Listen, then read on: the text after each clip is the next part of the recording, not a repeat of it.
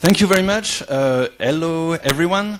Uh, so, a Gephi doesn't exist in, in the web world in JavaScript, right? But what if it existed in this different world?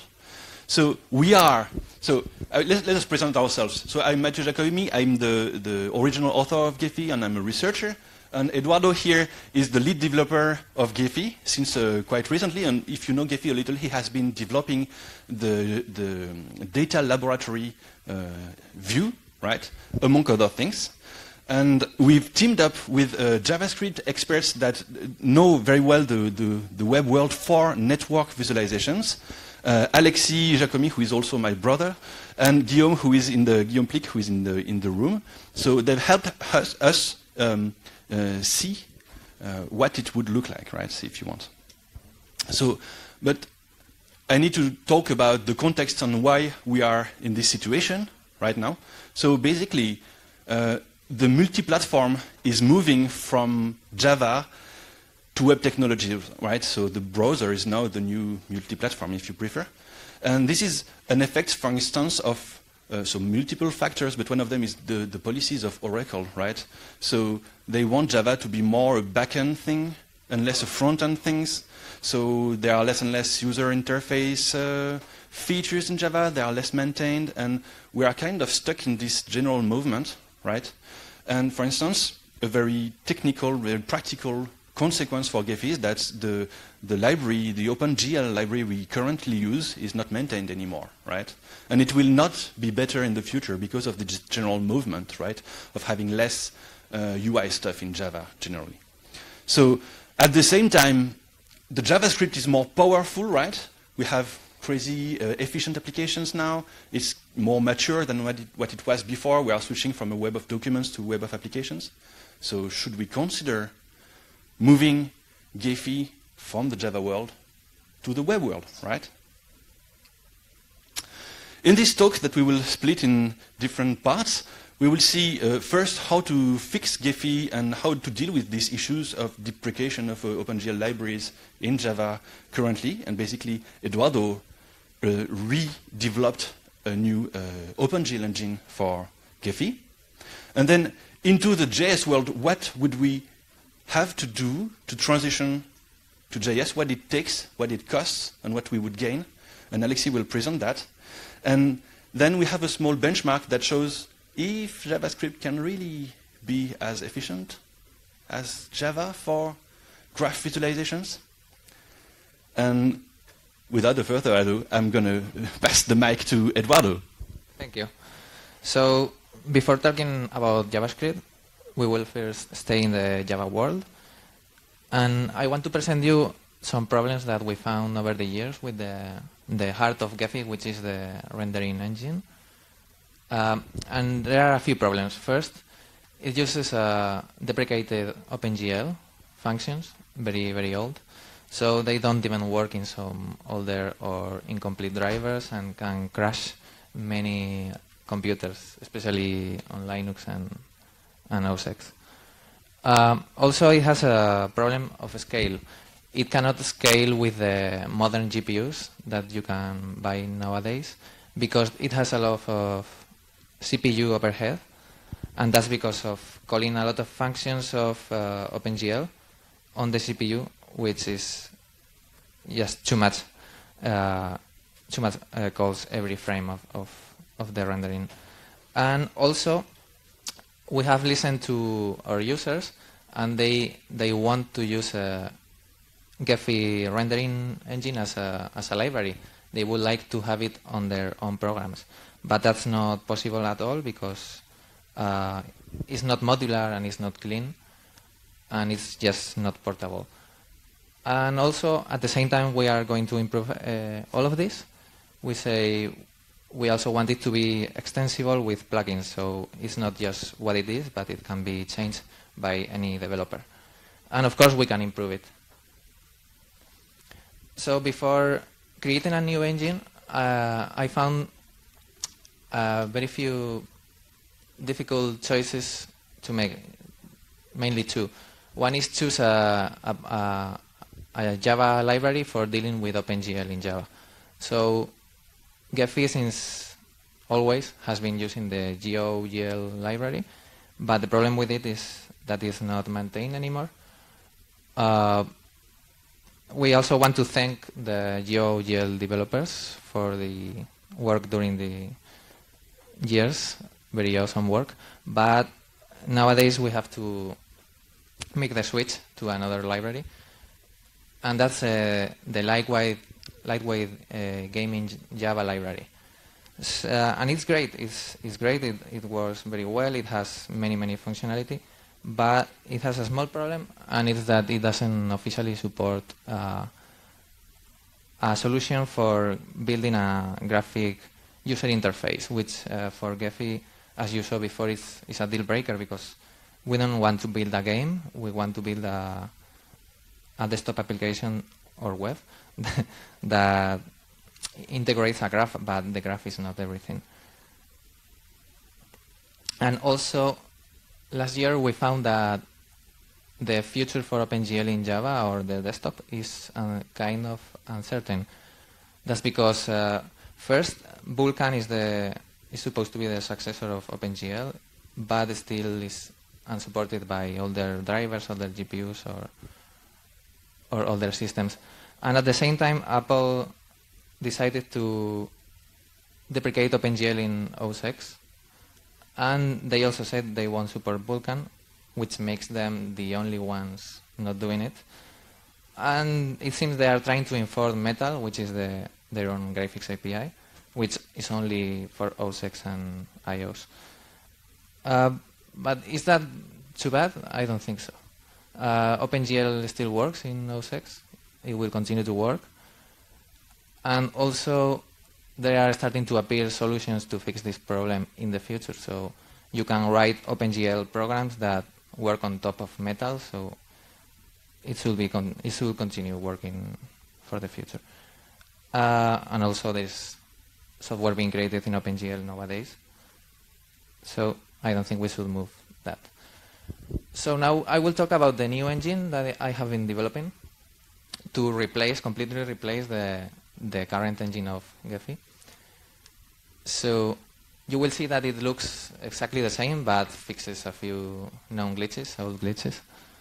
Uh, it's also written from scratch, only depending on the graph API, the core graph. So th- that should make it very, very easy to integrate both in Gephi and other uh, applications. Um, also, it offers extension mechanisms, so you can plug in some components to draw anything, for example, a background map or a legend, whatever. And you can also extend the the input, so you can write uh, plugins to deal with the user in user interaction, for example. Uh, and also, uh, I wanted to make it uh, work with older older versions of OpenGL, which some older machines might support, but not the new the new shiny things of OpenGL 4, for example. So this engine uh, tries to use what's, uh, whichever functionality is available, going for, from best to to older, which affects performance. But um, if the new version of OpenGL is available, it should work uh, really fast and much better than than nowadays. Uh, and the other aspect of uh, designing this new engine is that uh, it changes from the fixed pipeline of OpenGL to the shader-based modern OpenGL, which makes it uh, easier to to write some plugins to to render anything, and also it tries to be high performance by using the following the approaching zero driver overhead design principles, which in summary means that uh, you do all the, the, data preparation work on the CPU in a buffer, in a low-level buffer. You don't call OpenGL functions at all, and when you have all the data ready, you call the OpenGL function once to tell it to draw everything in a single batch or two batches or whatever. So that makes it Gephi use correctly the powerful GPUs that nowadays are available. Uh, and also the geometry of nodes and edges. Uh, before it was being repeated and sent again and again. Now we have one instance of the node geometry and we transform it on the shaders. So that saves memory for the graphics card and that saves uh, um, data interchange. And about the previous problem that I talked about JOGL or the lightweight Java Game library, I think the correct choice is this one. First, because uh, it's maintained nowadays. It also offers Vulkan support, so in the future, if we need it, we just can use it. But the AWT problem, why? What can we do to build a user interface? Well, um, there is one small project in GitHub, unofficial, that offers that. It works quite well, only for Windows and Linux at the moment, but we would like to uh, uh, implement it for OS X too and make it better and contribute that. And let's do a small demo.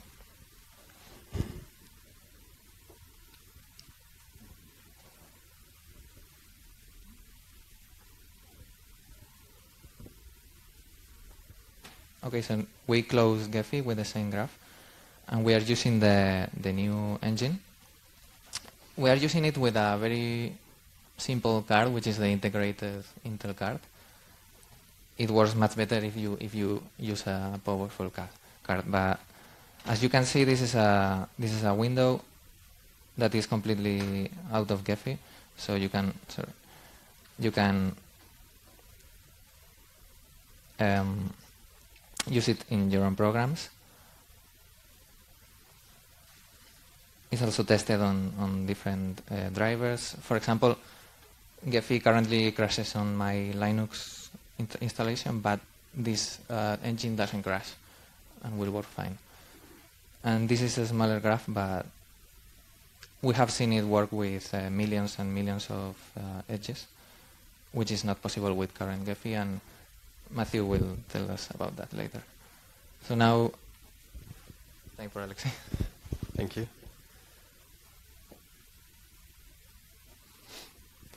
So um, now that we've seen the whole part about how fixing Gephi in the Java world, I'm going to try to explore what it could make possible or impossible to write Gephi for the web. Uh, first, I think the most important thing is to describe what I think is challenging is in uh, writing Gephi. Uh, I've been using it uh, years ago, and I think there's two, three main qualities of Gephi. The first thing is that it must be able to render hundreds of thousands of items or millions of items really smoothly, like as often as possible, if possible, like 30 times per second, without freezing the whole computer or even just the software itself. Also, it needs to have a performant graph model. We need to be able to, at the same time that we're drawing this whole graph 30 times per second, compute like uh, community detection algorithms or ranking algorithms, all of this still smoothly and without uh, freezing the whole computer or the software itself. And finally, one of the main qualities of, the, of Gephi is its plugin capabilities. You have to be able, if for your needs, your business needs to implement a specific ranking algorithm or something, to integrate it inside Gephi without having to rebuild the whole thing. Also, uh, this allows like the, the, current marketplace of Gephi. You can download a lot of different features that make Gephi your own Gephi and that makes it solve your business needs. So those, two, those three things are, I think, the three main challenges. Um, about web development, there is some obvious trade-off when you come from the Java world going to the JavaScript world. Let's see it like this.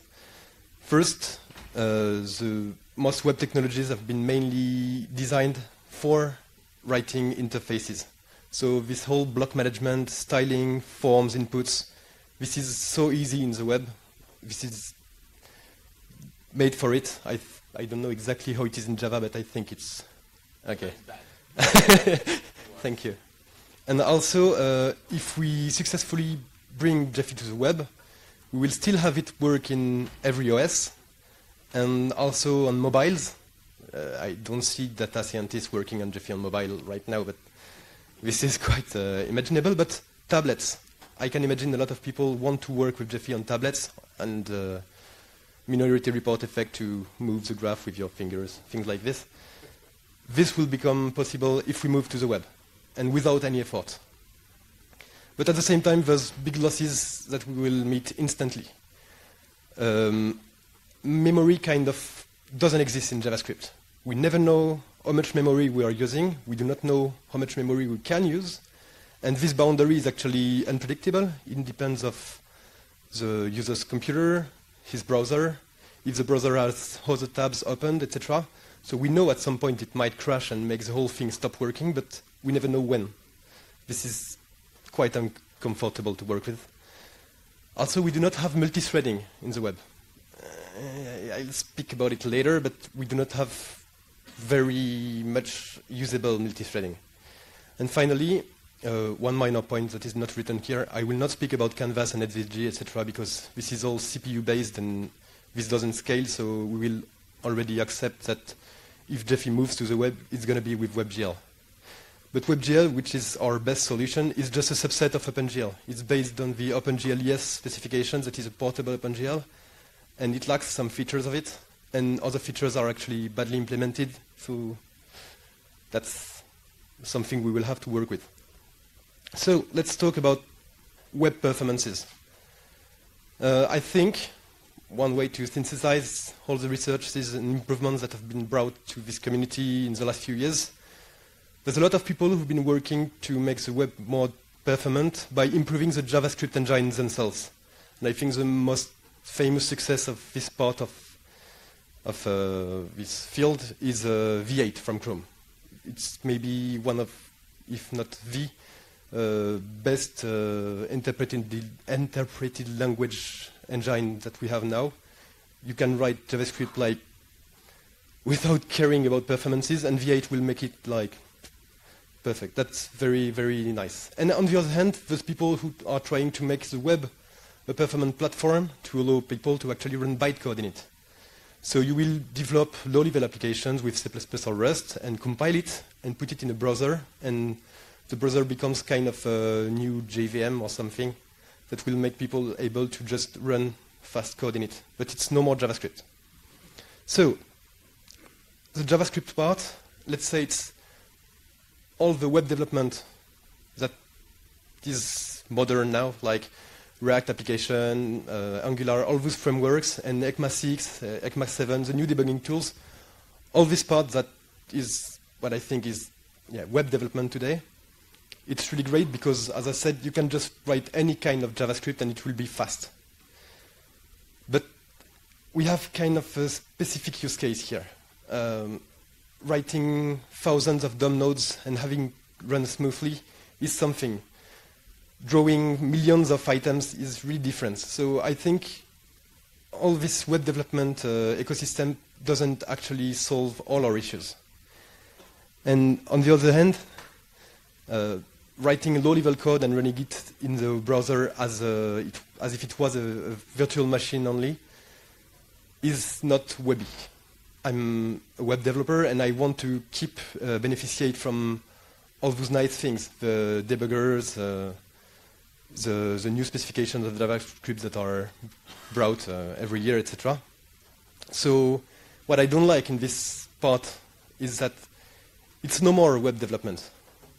Um, we were writing in the slides, no, not in the web culture, so many times that we just created a label for it. That's going to make it easier to identify. So to wrap up this part, uh, we don't have the same needs as classic web apps. WebGL is the best we have, and we want, if we move to the web, to create something that is webby. We want to beneficiate from all those nice things that, are, that have been brought in web development these last few years. Now, um, Guillaume and I have been developing Sigma.js uh, for some years, and we have some feedbacks about what is doable and what is hard, and yeah, about writing a web uh, web-based graph visualization library. So first, let's speak about a, a bit about WebGL. For a web developer, working with WebGL means working with low-level data structures, which is not very in the web culture. To say quickly, you work with byte arrays, that's nice, but you don't, you don't have the APIs to actually do what you want. You cannot allocate or unallocate memory as you want because this is not JavaScript. This is not what JavaScript does. And so this is kind of painful to work with WebGL for a web developer. Also, rendering efficiently custom shapes is hard. I mean, the first time I started working with WebGL, I spent more than a week to just draw a plain disk, and another week to draw a plain disk in front of another disk.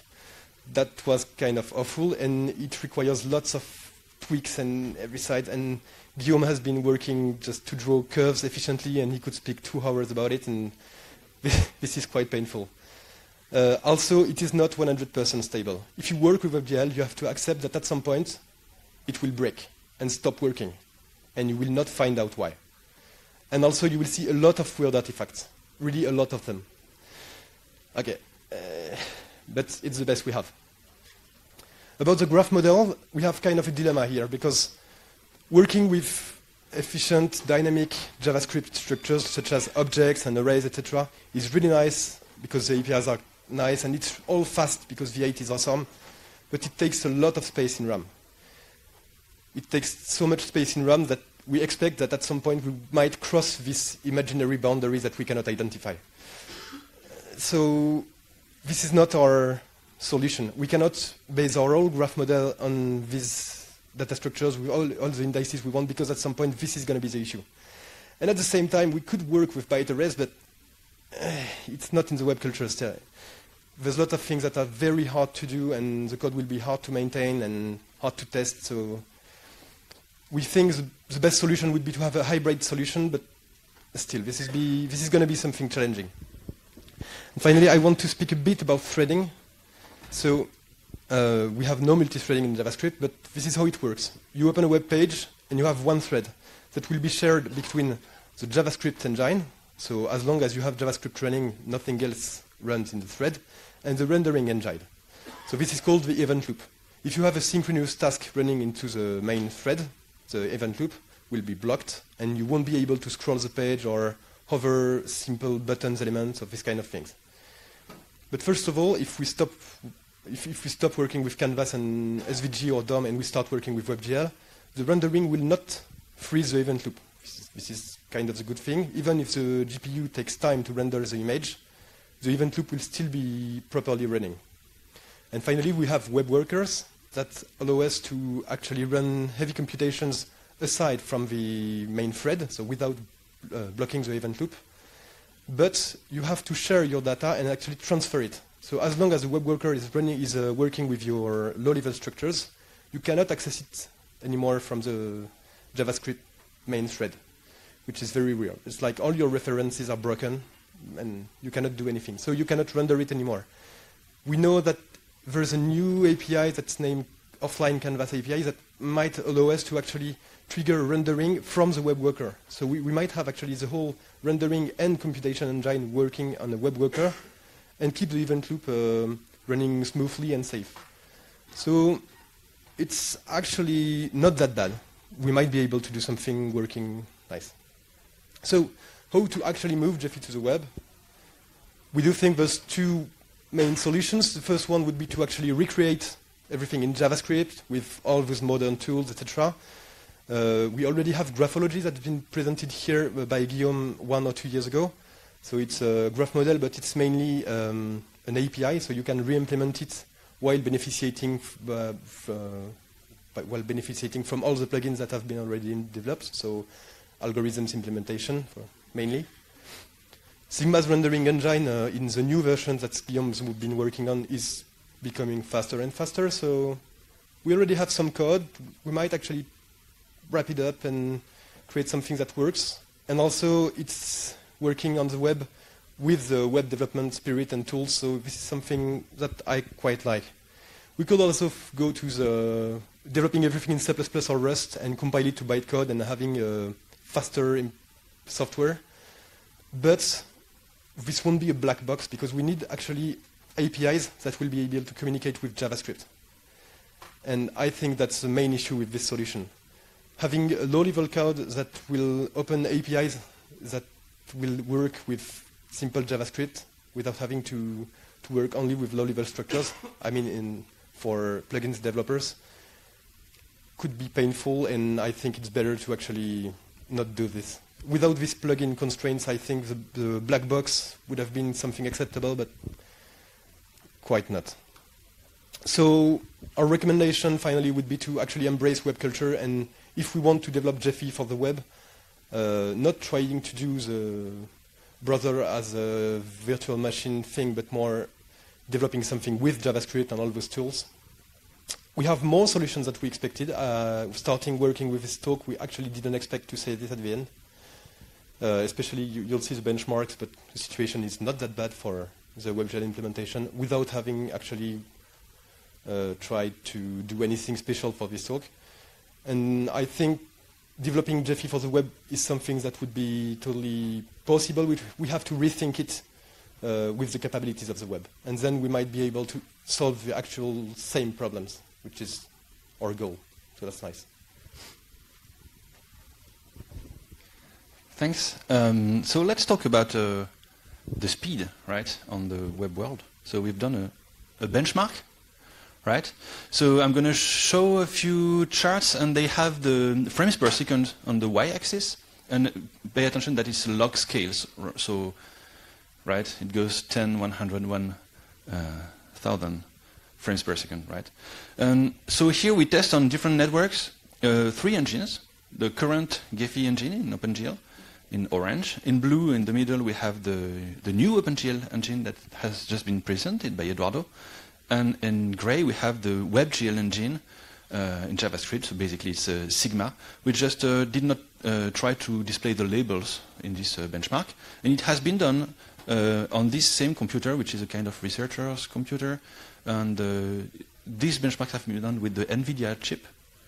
But it's not a, it's not a powerhouse, right? And the resolution is like 2,000 and a few hundreds by 1,000, 1,400. So quite a big resolution. And as you can see, on these big networks, uh, let's talk about the size of just the n. After the n, you have the number of nodes, and after the e, you have the number of edges. So the, this one, the Marvel Superheroes Network, has 10,000 nodes and uh, 100, almost 200,000 edges. And it's rendered uh, quite comfortably with the new engines above uh, 50 frames per second. And what you can see is that the JavaScript is already uh, quite largely overperforming existing Gephi, right?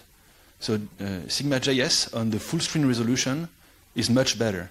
And the new OpenGL engine is also uh, even little uh, better. And the new OpenGL engine allows to display huge graphs that we are not currently able to visualize in Gephi, right? So like the Google graph, this one has uh, uh, 800,000 nodes and 5 million edges.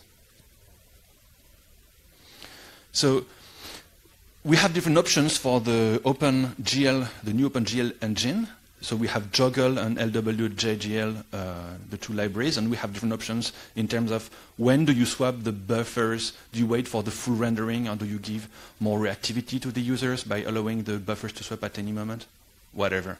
These uh, things produce kind of the same uh, range of uh, performance, so they don't matter so much for performance. We can pick whatever is good uh, for us in terms of design and user experience. So it's just good to know. And now let's talk about scalability. So here it's different networks that have an increasingly large amount of nodes, so an order of magnitude each time, up to 10 million nodes. This network has no edge. And so first of all, you see that we have this kind of plateau in the beginning. This is just due to the fact that you have a cap in the number of frames per second. We don't see us human more than maybe 100 frames per second. So whether you cap it at 30 or 60 or whatever, actually all these engines could could go much beyond. We just don't do it because it's useless. So the plateau here is not really representative. But then it starts to drop. And it starts to drop uh, because uh, the, there are too many nodes for the GPU, basically, or the CPU, depending. And what you can see first is that all of them start to drop at kind of the same moment, right, between uh, 10,000 and 100,000 nodes. And then, so they don't drop necessarily at the same rate, but um, you can see that, for instance, the, the we can reach 10 million nodes with the new OpenGL engine. Also, we couldn't load such huge networks with the WebGL engine. And so I must talk a little bit about that because you've seen a lot uh, the issues that uh, arise with web technologies. So here, the file was too big, and we you can actually find a turnaround to be able to load it. So we didn't take the time to develop that in addition to do this be benchmark because we didn't have the time. But basically, web technologies are not used to load huge file, and that's why it's break. So solutions exist. So we could, we will be able, we would be able to find turnarounds to to load huge files. But currently, it's kind of not uh, available because that's not in the practices of uh, these people. So we don't have the figures. So let's look at the edges now that we have seen for the nodes. And basically, it's kind of the same picture. So it drops at the same point. So in, it means first that in terms of um, scalability, one node and one edge are kind of worth the same, right? So you could estimate the size of your network in terms of nodes plus edges, right? And it gives you uh, how you how far you would go. So basically, to have a, an idea, things are usable with your in your uh, uh, interactions with your with the software above 10 frames per second or around 10 frames per second on above. Below that, it becomes so laggy that you cannot really interact with the network. It's ki it works kind of a static thing, right? And you can see that we can almost go to 1 million edges with the new OpenGL engine, and we could also achieve quite decent performances with the WebGL.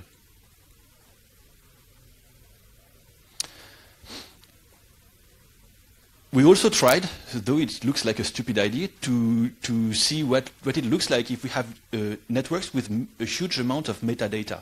Let's say nodes have many, many, many attributes, like full text stuff or whatever.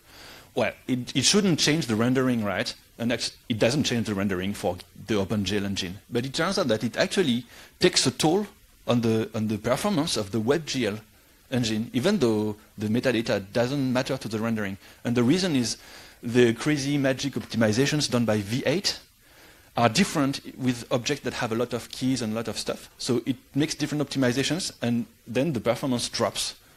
So this would mean also would require uh, this would lead us to develop a hybrid engine where we would uh, split the rendering part and the metadata part, for instance, or such strategies.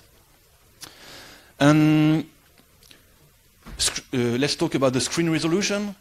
On the left, you have on uh, different uh, networks the frames per second on a small screen, and on the right on a huge screen, that screen. And it's actually quite flat. It means that it depends much, much more on the size of your network than the size of your screen. And this is quite specific to OpenGL and WebGL. I think Canvas is not the same. Um, so it means that we could have much uh, bigger screens, even on small chips. It will still work, and that's a really great news, including for the WebGL. So this is just the OpenGL, but it's also the, the case for WebGL. Um, and let's look at the influence of a GPU, right? If you use a huge uh, graphic card, so we've tried with the, uh, on the right, the GeForce GTX 970, which scores like 8,000 on G3D Mark, while the left one scores only 1,000 on 300. And basically, uh, WebGL in yellow and the new OpenGL engine in red uh, gain performance but current Gephi engine doesn't. So it seems to go down, but actually it's like one or two frames per second. Basically, you, you should just consider it's kind of the same. But the thing is, we have an, a CPU overhead, which caps uh, the gain we have with a huge uh, uh, GPU. So we would gain more performance in the future. So let me wrap up that very quickly. Um, if you're a developer, the, takeaway, the takeaways here are that web technologies we think are the new multi-platform for graph visualization. Uh, WebGL allows you to visualize 10 to 100,000 of nodes plus edges on your browser today with a normal computer with no special graphic card. So this is great news. But the challenges are different. I will not dig into that again, but you've seen that. And we just have a few things to know if we go that way, which is that the libraries are not mature for data science. So we have to develop stuff in JavaScript that is more compliant with data science practices, and this will come. And these practices are not in the web culture, as you've seen. And also for plugins development and stuff like that, the researchers or the users would have to learn a new culture that is different from the Java world. And if you're a Gephi user, know that we will transition from a software to a project with maybe different tools, and that the web will be part of the future of Gephi.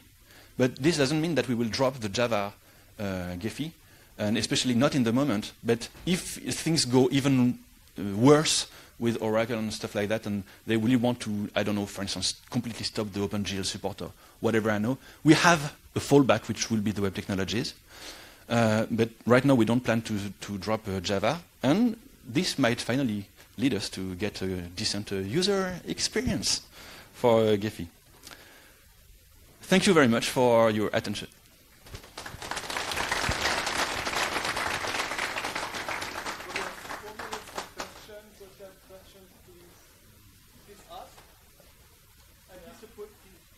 Yeah.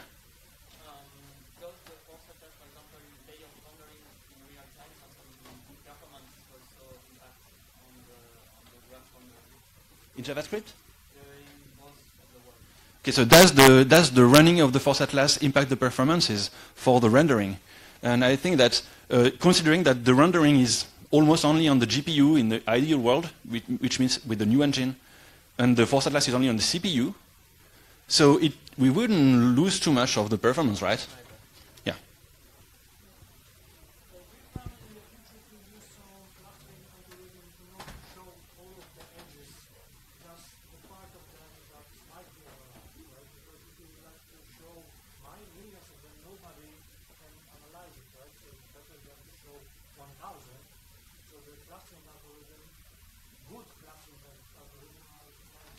So do we plan to use clustering algorithms to only show the edges that are relevant to ana- the analysis and not all of them because it's too much? And the answer, I will, I will want to uh, say joker here. So this is a methodological question. There is no problem for implementing these such algorithms, right? Uh, but because we are so few of us, we focus more on the, the, the basics of Gephi, like the core engine and stuff like that. And this can be done as a plugin. And like, for instance, the Leiden algorithm that is a kind of ano- another version of the Louvain algorithm for modularity clustering. The guys who published the paper, with the help of Eduardo, just published a plugin for Gephi, and this is the right path. So if these things comes, we will, we will create the plugins, host them, and might, we might even include them in Gephi. And the same applies to the JavaScript world, where graphology is an engine uh, that can host this kind of algorithms. And it's also possible to make a pull request in that direction. Another question, maybe?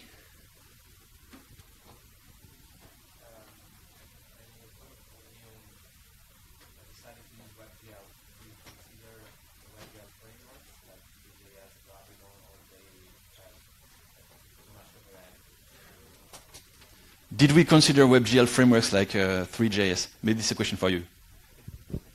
Uh, yes, at the beginning we thought about it, but the thing is, it brings us far from the metal, as Guillaume says. So basically, it brings like uh, one megabyte JavaScript just to draw disks and lines, which seems overkill. We prefer to go trying to actually work with um, WebGL directly, especially since we have only 2D needs, and there's no, except for Pixi.js, which is actually something we can think about. Uh, most uh, WebGL engines are more 3D oriented.